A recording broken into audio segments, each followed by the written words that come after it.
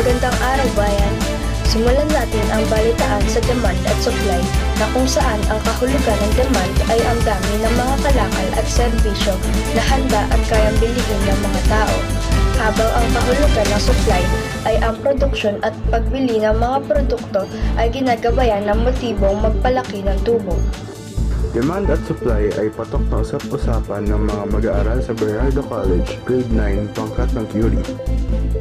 Patuloy ang pagtaas ng demand, supply at presyo ng ham at Noche Buena products simula ang sumapit ang Pasko hanggang sa nagbagong taon. Patungkol sa ugnayan ng demand at supply sa sistema ng pamilihan bilang batayan ng matalinong pagdedesisyon ng sambahayan at bahay kalakal tungo sa pambansang kaunlaran.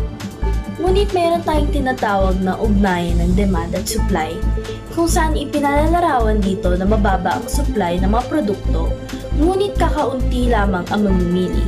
Kaya naman bagsak presyo na lang ang labas. Susunod, ang presyo, demand at supply ng ham ay talaga namang napag-uusapan dahil sa abot langit na pagtaas ng mga ito. Tutukan yan ni Erin Villaflor.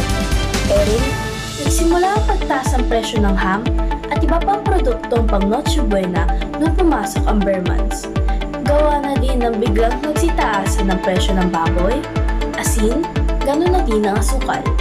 Nagre-range ang presyo mula 555 pesos hanggang 625 pesos.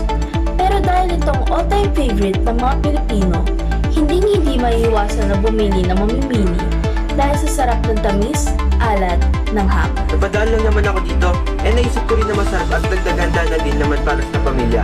Kaya bumili na din ako. Kapag ikot ng DTI o Department Trade and Industry sa ilang pamilyan, nakitang nagmahal ng P5 hanggang higit P50 ang presyo ng mga Buena products. Dahil hindi raw sila kontrolado. Wala sila sa SRP, bulletin ng DTI. Free naman ang manufacturers na magtaas ng presyo dahil rin